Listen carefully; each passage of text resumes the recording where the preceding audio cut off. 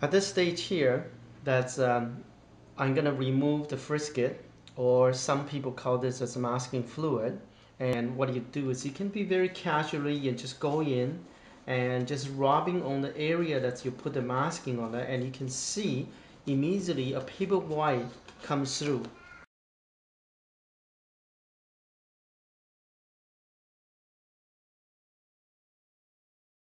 Okay, so after I remove all the masking fluid, you can see the contrast of the paper white. And one of the things to look at it very carefully is you can see some of the masking fluid when you remove, it's quite stiff.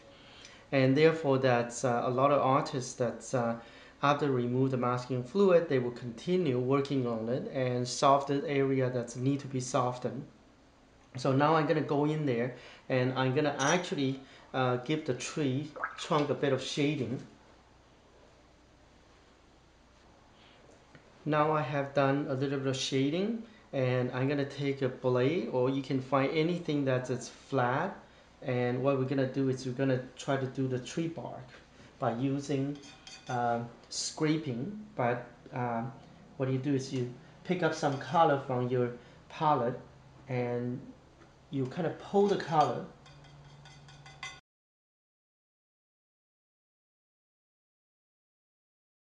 Okay, so now that um, uh, after I scraped some of the tree bark onto the tree to create illusion look like a birch tree, um, I will proceed to do some branches.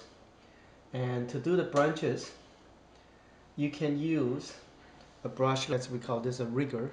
Um, you can also use for signature.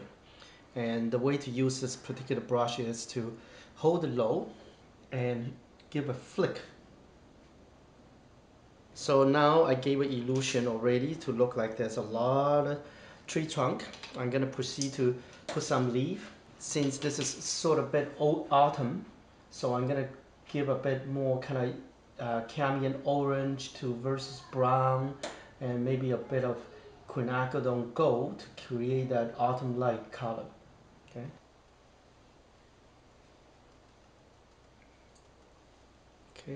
Now remember, okay, this is not a realistic painting. This is more uh, casual. So uh, try not to, you know, go after every single leaf.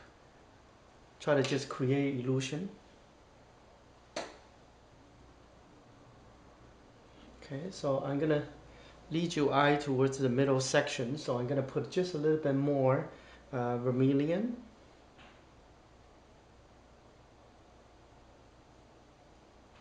the middle section.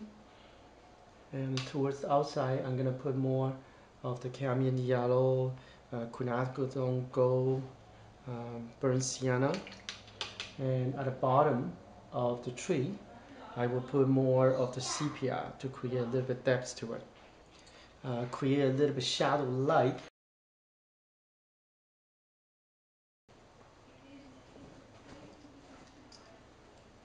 Okay, now, um, now it's basically tidy up and we should be finished any time now. Alright, so this is done and I'm gonna just sign the signature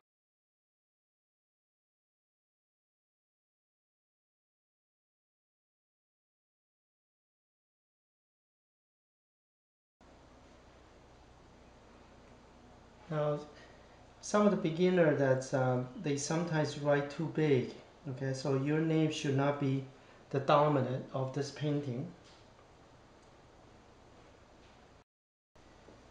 After I finished the painting I decided to uh, add a, a river here like some water okay? Now that water just somehow give this painting a little bit more interesting color. We're just gonna uh, highlight a little bit with a, a bit of ultramarine to give just a little bit more depth create a bit of light that's uh, reflected onto the water. So I'm to pull this out a little bit. Okay, that's it.